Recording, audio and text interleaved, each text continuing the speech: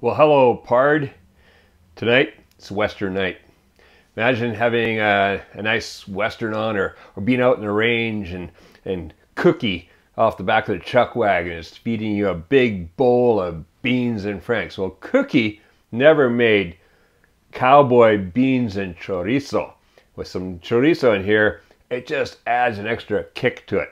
And then cook this in molasses and Worcestershire sauce, and it just fantastic flavor mixture.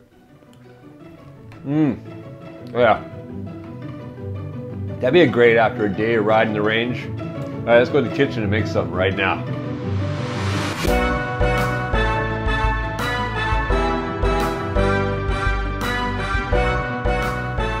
All right, to make our cowboy beans and chorizo, here's what we have. We have one and a half pounds of chorizo. That's like about eight sausages, about that big. And they've been cut into half inch rounds or half inch slices.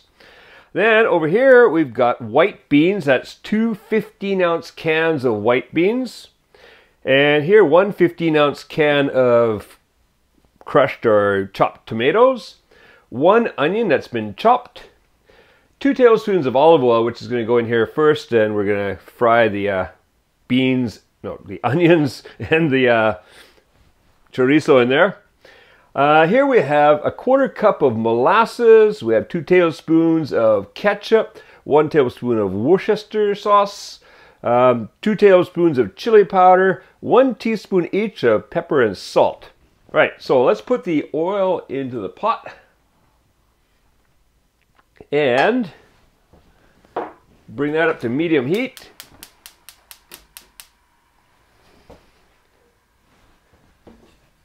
Get the oil going. Just gonna wait till that oil starts to move around on top of it and you'll get the fragrance coming off there.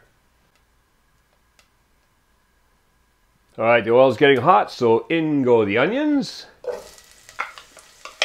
Nice sizzling sound. In goes the chorizo.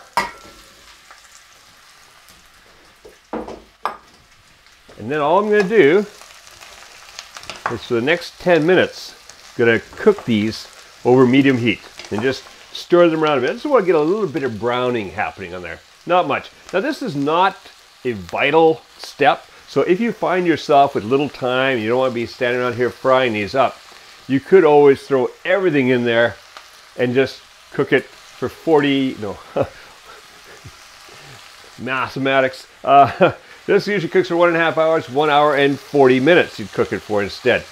But I do like to, if you can, you know, take a couple minutes to brown things a little bit. And then we're gonna add in the rest of the ingredients. So I'll see you in about 10 minutes.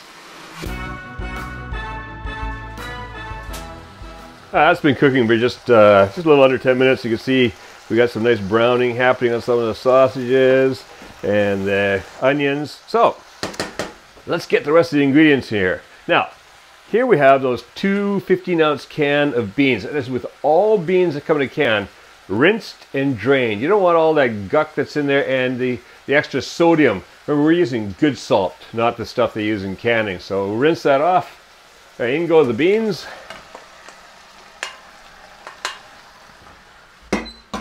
In goes the tomatoes.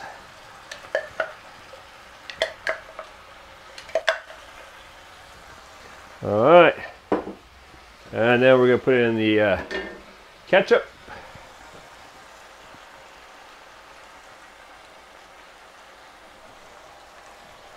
And molasses. This is really what gives that fantastic flavor. Between the, the molasses and the Worcestershire sauce, Worcester sauce, it uh, just really gives it a fantastic mixture of flavors in there. All right, we'll get all that in there. I love molasses. Worcester sauce. Oh, there we go, making a mess again. Chili powder. Hmm. Salt and pepper. And now, I'm going to mix that down in there.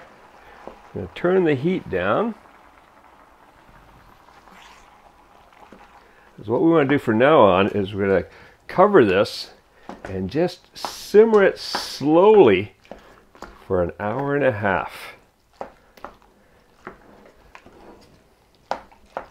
Just kind of get that mixed in there. It doesn't have to be perfect because during that hour and a half, it's a good idea to just occasionally check in and give it a little stir, turn everything over. Okay, that is going to be absolutely delicious once that's all cooked nicely. All right, put the lid on there.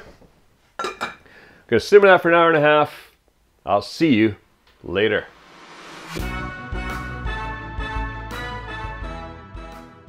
All right, that's been cooking for an hour and a half, just bubbling away here. And you can see it's gotten all thick. Perfect.